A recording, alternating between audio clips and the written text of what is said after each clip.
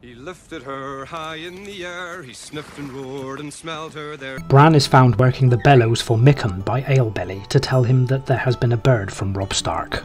Bran lets Alebelly carry him to Maester Luwin's turret where Rickon already waits. The Maester informs him that Robb has shattered a Lannister army at the Battle of Oxcross, killing its commander, Sir Stafford Lannister. He has also captured several castles and is currently at Ashemark, the stronghold of House Marbrand. Rickon asks if Robb is coming home, but Bran knows that only Lord Tywin Lannister matters, as Big Walder states, which disquiets him. Neither Big Walder nor Little Walder seem upset about their uncle Sir Stevron Frey's death, who, they note, was very old, 50 or 60, and always tired. Little Walder asks if Sir Emmon Frey is now heir, and his cousin tells him the line of ascension. Sir Ryman, Edwyn, Black Walder, Petyr, and then Aegon Frey and his sons. Little Walder states that Ryman is too old and asks if they think he will be Lord, and Big Walder responds he will be Lord and does not care. The Maester tells them that they should be ashamed. Osha arrives to carry Bran, as she is stronger than Alebelly. Bran asks if she knows the way north, and she tells him it is easy. He then asks if the children of the forest, the others, and giants are still there, and she tells him that she has seen giants and heard of the others. He then asks about the three eyed crow, which she has never heard of. She seats him on the window seat of his bedchamber. Shortly thereafter, Jojen enters the room, unbidden with Meera behind him. Bran asks Jojen if he has heard about the bird, and he states it was not supper, it was a letter from Robb. Jojen explains that the Green Dreams are not easy to understand, and when Bran asks Jojen to tell him his dream, Jojen reveals that he dreamed the sea was lapping all the way around Winterfell. Waves crashed against the gates and towers, and the water came flowing over the walls and filled the castle. Drowned men were floating in the yard. He now recognises these men and declares that they are Alebelly, Septon Chayle, and Mikken. Bran, confused and dismayed, replies that the sea is hundreds of leagues away, and Winterfell's walls are so high water could not get in even if it did come. Jojen only repeats his claim, adding that he saw the dead, bloated and drowned. Bran wants to warn the men, but Jojen tells him it will not save them, as they will not believe him. He then asks Bran to tell of his wolf dream, and Bran replies that there are different kinds.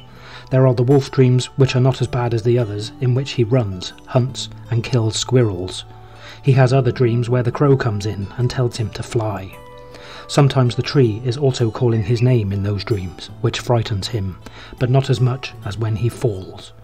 He explains that he never used to fall while climbing, and that he used to feed the crows in the burned tower. Yet he did fall eventually, and now, when he sleeps, he falls all the time. Jojen tells Bran that he will be called a warg if others hear of his wolf dreams, and some will hate him in fear, as the power is strong in him. Bran is concerned since in Old Nan stories wargs were always evil, and tells Jojen that he wants to be a knight. Jojen replies that he is a winged wolf, but will never fly unless he opens the eye in his forehead, and he must search for it with his heart. When Bran states that Maester Luwin claims dreams are just that, Jojen responds that they are the past and the future and truth. With that, they leave him, and Bran tries unsuccessfully to open his third eye. On the following days, Bran tries to warn his household, but no one seems to believe him. Mikken thinks it's funny, and states that he always wanted to see the sea. Septon Chayle states the gods will take him when they do, and he does not think he will drown, since he grew up on the banks of the White Knife. Alebelly takes heed and refuses to go bathe or go near a well, until finally other guardsmen give him a bath because he stinks so badly. Sir Roderick Cassel returns with a man that Hayhead tells Bran is named Reek. He served the now dead Ramsay Snow, the bastard of Bolton. The bastard and Reek murdered Lady Hornwood. Roderick's men shot Snow as he attempted to ride away. He had forced Lady Hornwood to marry him and then to sign a will naming him heir. Sir Roderick is concerned that Roose Bolton may not agree that doing this under duress would make the marriage and the will invalid. Roderick wants to keep Reek alive for judgment when Robb returns. Meanwhile, House Manderley and House Bolton are fighting in the Hornwood Forest, and Roderick does not have the strength to stop them. Sir Roderick then brings up Bran commanding Alebelly not to bathe.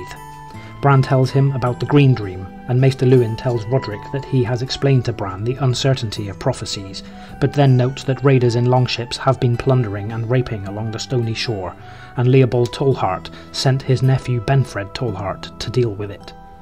After he gets more information about the Green Dream, Roderick promises not to take Alebelly with him if he rides against the raiders. Bran takes some hope in this. When Bran meets with the Reeds later that night, Meera agrees that it should be possible to change prophecies. Meera gets angry with her brother when he disagrees, claiming that what he sees always comes true. Then Meera states that Alebelly and Bran should both fight to avoid their fates. Bran asks if he drowns also, and Jojen reveals another dream of his in which Bran and Rickon lay dead at Reek's feet, and he was skinning off their faces with a long red blade. Meera states that she could go down to the dungeons and kill Reek now, but Jojen tells her she will not succeed. First, the jailers would stop her, and they will never believe. Even if Bran went to Greywater Watch, he could not avoid his fate. The Green Dreams do not lie. I demand a trial by combat.